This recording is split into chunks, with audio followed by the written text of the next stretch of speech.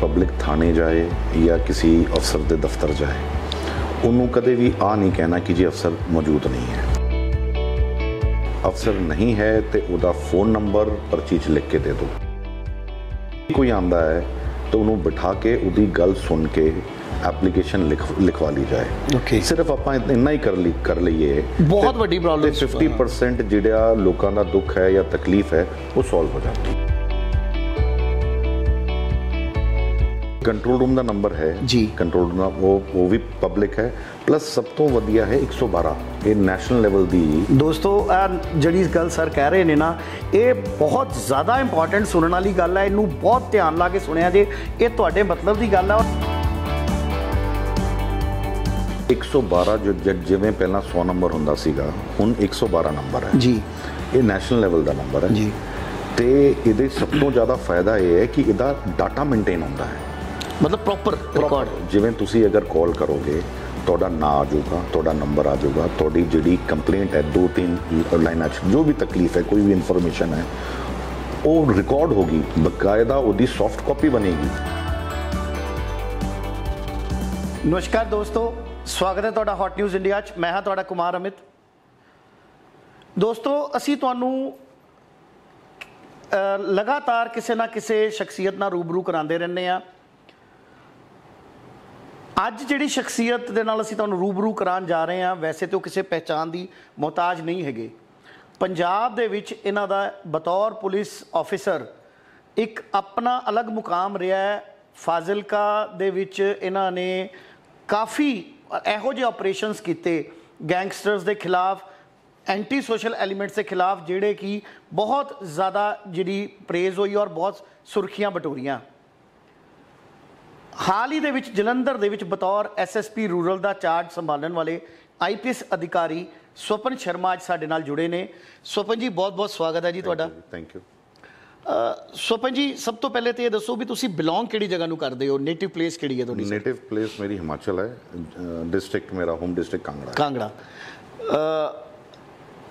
ਪੰਜਾਬ 'ਚ ਕਦੋਂ ਸ਼ਿਫਟ ਹੋਏ ਤੁਸੀਂ ਫਿਰ? ਮੇਰੀ ਪੜ੍ਹਾਈ ਪੰਜਾਬ ਦੀ ਹੈ ਸਾਰੀ ਐਜੂਕੇਸ਼ਨ ਮੇਰੇ ਫਾਦਰ ਫੌਜ ਸੀਗੇ ਜੀ। ਤੇ ਉਹਨਾਂ ਦੀ ਜ਼ਿਆਦਾਤਰ ਪੋਸਟਿੰਗ ਪੰਜਾਬ 'ਚ ਹੀ ਰਹੀ ਹੈ। ਜੀ। ਸੋ ਮਤਲਬ ਪੰਜਾਬ ਦੇ ਨਾਲ ਤੁਹਾਡਾ ਮਤਲਬ ਕੋਈ ਨਵਾਂ ਮਤਲਬ ਨਾਤਾ ਨਹੀਂ ਹੈਗਾ ਕਾਫੀ ਪੁਰਾਣਾ ਨਾਤਾ ਹੈ। ਨਹੀਂ ਮੈਂ ਤਾਂ ਨਰਸਰੀ ਤੋਂ ਲੈ ਕੇ ਆਪਣੀ ਇੰਜੀਨੀਅਰਿੰਗ ਤੱਕ ਇੱਥੇ ਪੜ੍ਹਿਆ ਤੇ ਜਲੰਧਰ ਸਰ ਇਸ ਤੋਂ ਪਹਿਲੇ ਕਦੀ ਸਰਵ ਕੀਤਾ ਜੀ ਕਿ ਫਰਸਟ ਪੋਸਟਿੰਗ ਤੁਹਾਡੀ ਜਲੰਧਰ? ਦੁਆਬੇ 'ਚ ਮੇਰੀ ਪਹਿਲੀ ਪੋਸਟਿੰਗ ਦੁਆਬੇ 'ਚ ਹੀ ਪਹਿਲੀ ਪੋਸਟਿੰਗ ਹੈ ਜੀ।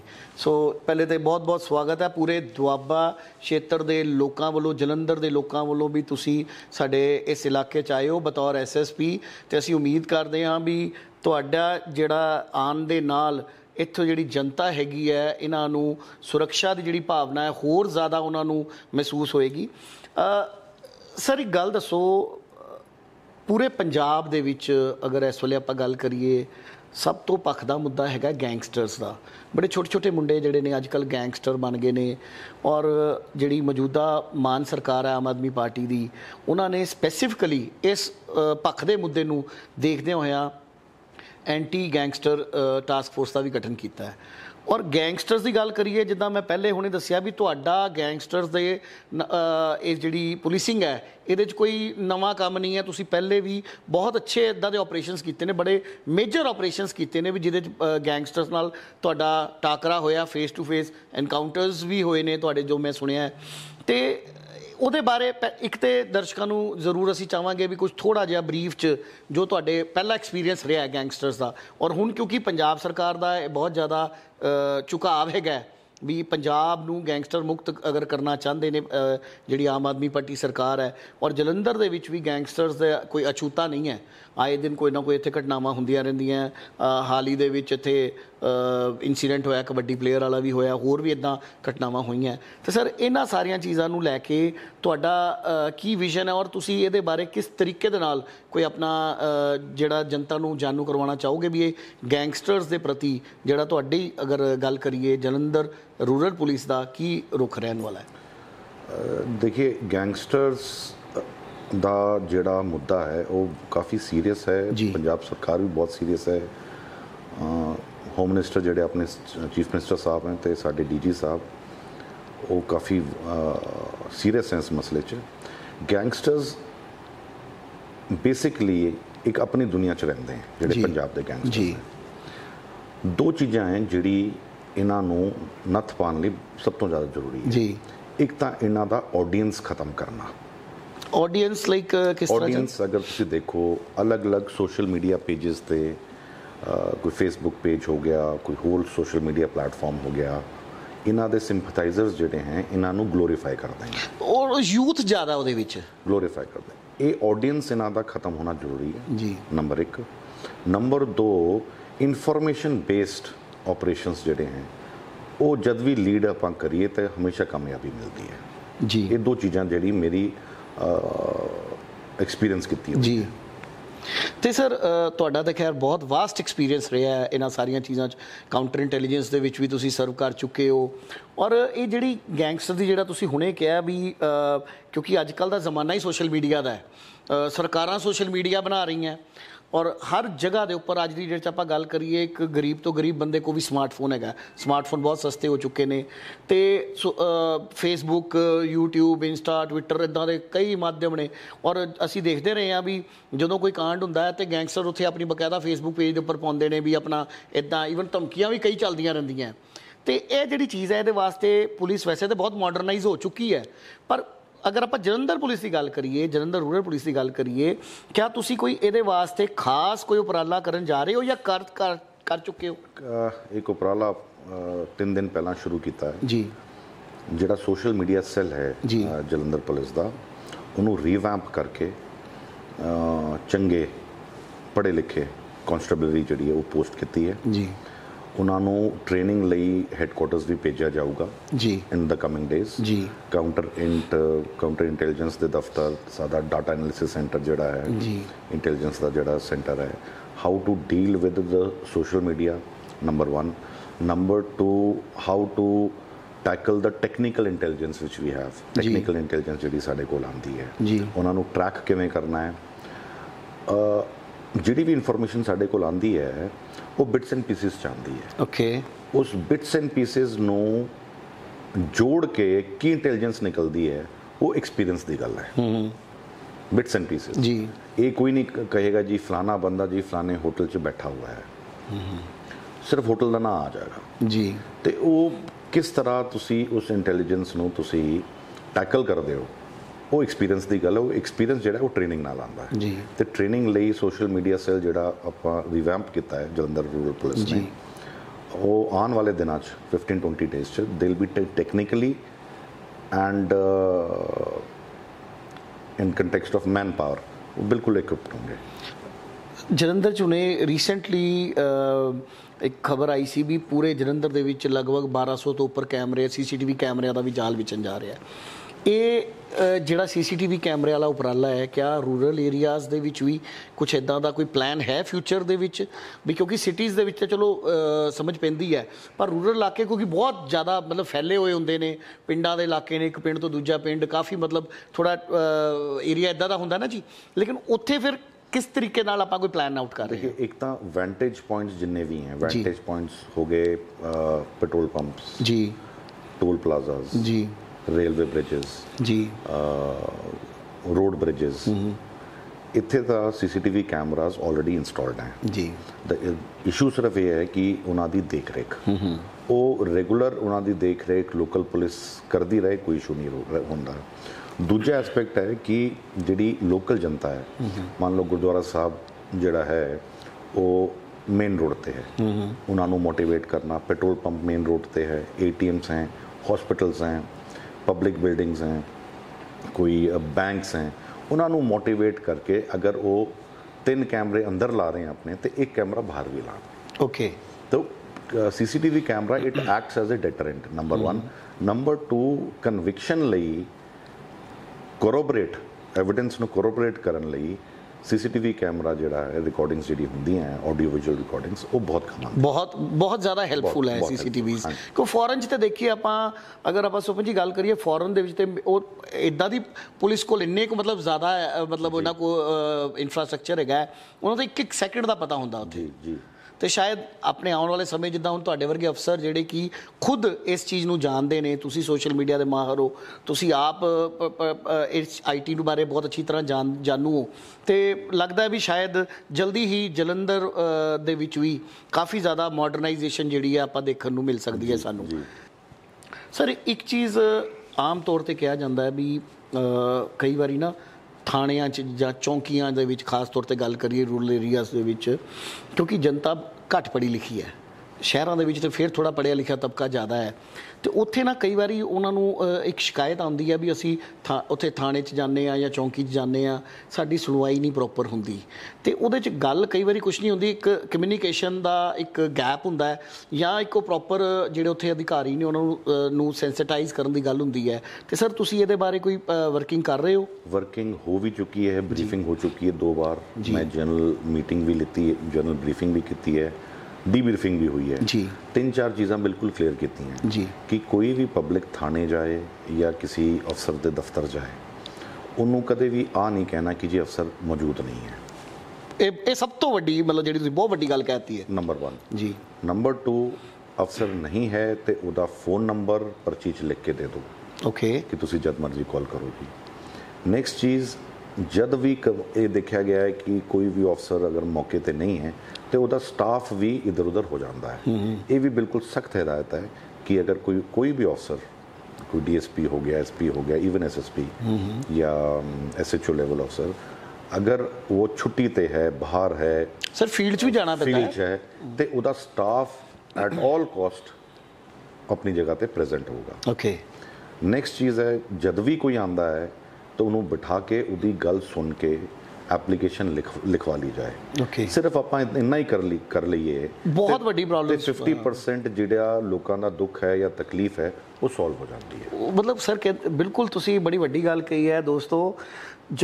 ਸਾਡੀ ਪੰਜਾਬ ਪੁਲਿਸ ਦੇ ਵਿੱਚ ਇੱਕ ਬੜਾ ਵੱਡਾ ਬਦਲਾਵ ਜਿਹੜਾ ਅੱਜ ਸਰ ਨੇ ਦੱਸਿਆ ਹੈ ਵੀ ਜਦੋਂ ਕੋਈ ਬੰਦਾ ਕੋਈ ਦੁੱਖ ਦੁੱਖ ਚ ਆਉਂਦਾ ਹੈ ਤਕਲੀਫ ਚ ਆਉਂਦਾ ਹੈ ਕੋਈ ਪਰੇਸ਼ਾਨੀ ਹੁੰਦੀ ਹੈ ਉਹਨੂੰ ਉਹ ਆਪਣੀ ਪਰੇਸ਼ਾਨੀ ਸਾਂਝਾ ਕਰਨ ਜਾਂਦਾ ਨਾ ਤੇ ਜੇ ਕੋਈ ਪੁਲਿਸ ਅਧਿਕਾਰੀ ਜਾਂ ਕਰਮਚਾਰੀ ਉਹਨਾਂ ਦਾ ਸਿਰਫ ਇੱਕ ਮਤਲਬ ਇੱਕ ਪੈਸ਼ੈਂਟ ਲਈ ਉਹਨੂੰ ਸੁਣ ਹੀ ਲੈਣ ਨਾ ਕੱਲੀ ਉਹਦੀ ਸ਼ਿਕਾਇਤ ਕੀ ਹੈ ਤੇ ਉਹਨੂੰ ਅੱਧਾ ਉਹਦਾ ਦੁੱਖ ਜਿਹੜਾ ਘਟ ਵੀ ਜਾਂਦਾ ਹੈ ਤੇ ਉਹਨੂੰ ਇਨਸਾਫ ਦੀ ਉਮੀਦ ਜਿਹੜੀ ਆ ਦੁੱਗਣੀ ਹੋ ਜਾਂਦੀ ਹੈ ਸਰ। ਬਿਲਕੁਲ ਜੀ। ਸਰ ਇੱਕ ਕੁਐਸਚਨ ਬਸ ਹੋਰ ਹੈਗਾ ਮੇਰਾ ਵੀ ਜਿਹੜਾ ਨਸ਼ਿਆਂ ਦਾ ਮੁੱਦਾ। ਨਸ਼ਿਆਂ ਦਾ ਮੁੱਦਾ ਅੱਜ ਦਾ ਨਹੀਂ ਕਾਫੀ ਪੁਰਾਣਾ ਹੈ ਪੰਜਾਬ ਦੇ ਵਿੱਚ। ਤੇ ਸਨੈਚਿੰਗਸ ਜਾਂ ਹੋਰ ਜਿਹੜੀਆਂ ਆਪਾਂ ਘਟਨਾਵਾਂ ਕਹਿੰਨੇ ਆ ਚੋਰੀ ਚਕਾਰੀ ਦੀਆਂ ਘਟਨਾਵਾਂ ਜਾਂ ਜੇ ਕੋਈ ਹੋਰ ਪ੍ਰੋਬਲਮਸ ਆਂਦੀਆਂ ਐਂਟੀ ਸੋਸ਼ਲ ਐਲੀਮੈਂਟਸ ਵੱਲੋਂ ਉਹਦੇ ਚ ਕਿਤੇ ਨਾ ਕਿਤੇ ਨਸ਼ਾ ਬੜਾ ਇੱਕ ਵੱਡਾ ਫੈਕਟਰ ਹੈ ਸਰ। ਤੇ ਸਰ ਕਿਆ ਡਰੱਗਸ ਨੂੰ ਲੈ ਕੇ ਵੀ ਸਰ ਕੋਈ ਤੁਸੀਂ ਖਾਸ ਉਪਰਾਲਾ ਕਰਨ ਜਾ ਰਹੇ ਹੋ ਸਰ ਜਲੰਧਰ ਆਪਣੇ ਏਰੀਏ 'ਚ? ਮੇਰਾ ਜੋ ਜਿਹੜਾ ਬੇਸਿਕ ਮਾਈਂਡਸੈਟ ਹੈ ਪੁਲਿਸਿੰਗ ਦਾ ਉਹ ਹੈ ਕੋਰ ਪੁਲਿਸਿੰਗ ਜੀ ਕੋਰ ਪੁਲਿਸਿੰਗ ਜਿੱਥੇ ਤੱਕ ਡਰੱਗਸ ਦਾ ਮਸਲਾ ਹੈ ਆਈ ਐਮ ਕੁਝ ਚੀਜ਼ਾਂ 'ਚ ਮੈਂ ਬਿਲਕੁਲ ਕਲੀਅਰ ਹਾਂ ਜੀ ਕਿ ਸਪਲਾਈ ਚੇਨ ਹਰ ਹਾਲਤ 'ਚ ਟੁੱਟਣੀ ਚਾਹੀਦੀ ਹੈ ਓਕੇ ਔਰ ਜੇ ਆਪਾਂ ਸੋਚੀਏ ਕਿ ਸਪਲਾਈ ਚੇਨ ਇੱਕ ਵਾਰ ਟੁੱਟ ਗਈ ਦੁਬਾਰਾ ਨਹੀਂ ਹੋਗੀ it is a organic process it's a wheel ਜਦ ਜਦ ਤੱਕ ਡਿਮਾਂਡ ਰਹੇਗੀ ਸਪਲਾਈ Supply ਰਹੇਗੀ ਤੁਸੀਂ ਇੱਕ ਸਪਲਾਈ ਚੇਨ ਤੋੜੋਗੇ ਦੂਜੀ ਖੜੀ ਹੋ ਜਾਏਗੀ so police needs to be on its toes ਕਿ ਆਪਾਂ ਇਹ ਸਪਲਾਈ ਚੇਨ ਤੋੜੀ ਹੋਰ ਕਿੱਥੇ ਕਿੱਥੇ ਹੋ ਸਕਦੀ ਹੈ।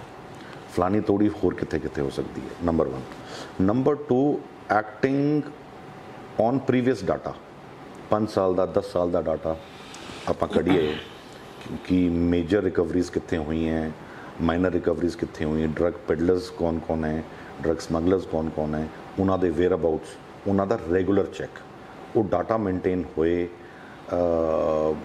ਇਲੈਕਟ੍ਰੋਨਿਕਲੀ ਵੀ ਹੋਏ ਟੈਕਨੀਕਲੀ ਵੀ ਹੋਏ ਫਿਜ਼ੀਕਲੀ ਵੀ ਹੋਏ, ਤਾਂ ਉਹ ਵੀ ਬਹੁਤ ਵੱਡਾ ਡਿਟਰੈਂਟ ਰਹਿੰਦਾ ਮੇਰੇ ਐਕਸਪੀਰੀਅੰਸ ਨਾਲ। ਸਰ, ਜਿਸ ਤਰ੍ਹਾਂ ਕਿ ਆਪਾਂ ਸਾਰੇ ਜਾਣਦੇ ਹਾਂ, ਜਲੰਧਰ ਦਾ ਪੰਜਾਬ ਦੀ ਰਾਜਨੀਤੀ 'ਚ ਇੱਕ ਬੜਾ ਅਹਿਮ ਸ- ਮਤਲਬ ਜਗ੍ਹਾ ਹੈਗੀ ਹੈ। ਮੀਡੀਆ ਨਗਰੀ ਵੀ ਹੈ।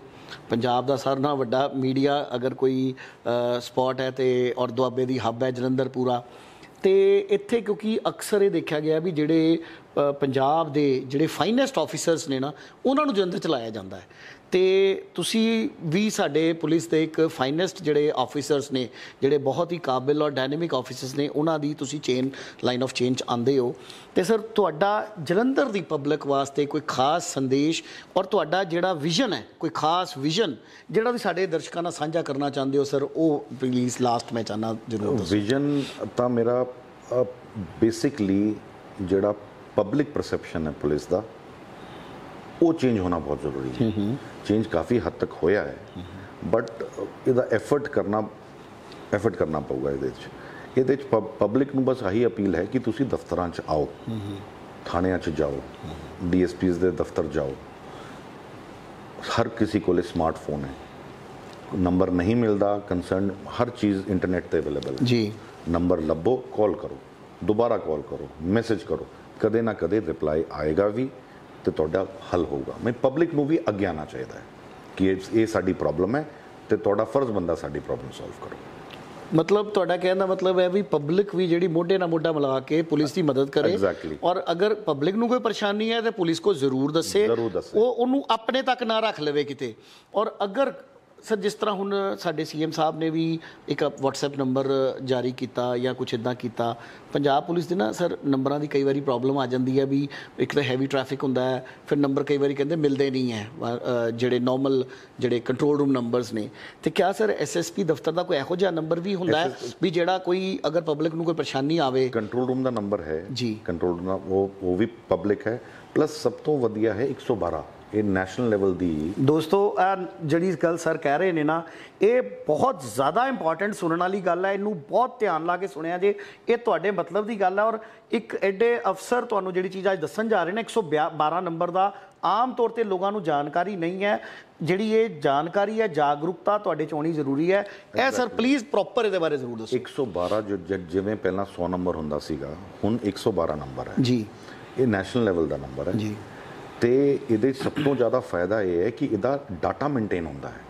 ਮਤਲਬ ਪ੍ਰੋਪਰ ਰਿਕਾਰਡ ਜਿਵੇਂ ਤੁਸੀਂ ਅਗਰ ਕਾਲ ਕਰੋਗੇ ਤੁਹਾਡਾ ਨਾਂ ਆ ਜਾਊਗਾ ਤੁਹਾਡਾ ਨੰਬਰ ਆ ਜਾਊਗਾ ਤੁਹਾਡੀ ਜਿਹੜੀ ਕੰਪਲੇਂਟ ਹੈ ਦੋ ਤਿੰਨ ਲਾਈਨਾਂ 'ਚ ਜੋ ਵੀ ਤਕਲੀਫ ਹੈ ਕੋਈ ਵੀ ਇਨਫੋਰਮੇਸ਼ਨ ਹੈ ਉਹ ਰਿਕਾਰਡ ਹੋਗੀ ਬਕਾਇਦਾ ਉਹਦੀ ਸੌਫਟ ਕਾਪੀ ਬਣੇਗੀ। ਓਕੇ ਉੱਥੇ ਇੱਕ ਪੂਰਾ ਕਾਲ ਸੈਂਟਰ ਟਾਈਪ ਮੋਹਾਲੀ 'ਚ ਸਾਡੇ ਮੁਲਾਜ਼ਮ ਬੈਠੇ ਹੋਏ ਆ ਸਾਡੇ ਮੁੰਡੇ ਕੁੜੀਆਂ ਬੈਠੇ ਹੋਏ ਆ। Very good. Round the clock ਜੀ। ਤੇ 112 ਤੋਂ ਵਧੀਆ ਕੋਈ ਚੀਜ਼ ਨਹੀਂ ਹੈ। ਤੇ ਸਰ ਇਹ ਤੁਹਾਡੇ ਕੋਲ ਜਿੱਦਾਂ ਹੁਣ ਤੁਹਾਡੇ ਵਰਗੇ ਲੈਵਲ ਦੇ ਅਫਸਰ ਕੋ ਵੀ ਇਹਦੀ ਜਾਣਕਾਰੀ ਹਾਂਜੀ, ਆਉਂਦੀ ਹੈ ਕਿ ਨੀਚੇ ਹੀ ਰਹਿ ਜਾਂਦੀ ਨਾ ਹੈ? ਨਾ ਸਾਡੇ ਕੋਲ ਆਂਦੀ ਹੈ ਜਦ ਵੀ ਕੋਈ ਇੰਪੋਰਟੈਂਟ ਹੀਨੀਅਸ ਕ੍ਰਾਈਮ ਹੋ ਜਾਂਦਾ ਹੈ। ਜੀ। ਫੋਨ ਕੋਈ ਕਰੂ ਕਿਡਨੈਪਿੰਗ ਹੋ ਜਾਂਦੀ ਹੈ ਕੋਈ 112 ਚ ਕੰਪਲੇਂਟ ਕਰੇ ਤੇ ਟੋਟਲ ਇੱਕ ਮੈਸੇਜ ਬਣ ਕੇ ਆ ਜਾਂਦਾ ਹੈ ਆਟੋਮੈਟਿਕਲੀ ਸਾਨੂੰ। ਉਹ ਮਤਲਬ ਸਰ ਐਸਐਸਪੀ ਲੈਵਲ ਤੱਕ ਵੀ ਆ ਜਾਏਗਾ? ਹਾਂਜੀ। ਆਟੋਮੈਟਿਕ ਆਟੋਮੈਟਿਕਲੀ ਮੇਰੇ ਫੋਨ ਤੇ ਐਸਐਮਐਸ ਆਂਦਾ ਹੈ ਕਿ ਜੀ ਫਲਾਣਾ ਫਲਾਣਾ ਕਾਲਰ ਇਹ ਹੈ। ਤੁਹਾਡੇ ਏਰੀਆ 'ਚ ਮਤਲਬ ਆ ਚੀਜ਼ ਹੋਈ ਹੈ। ਆਹ ਕਾਲਰ ਹੈ ਇਹ ਕਾਲਰ ਦਾ ਨਾਂ ਹੈ।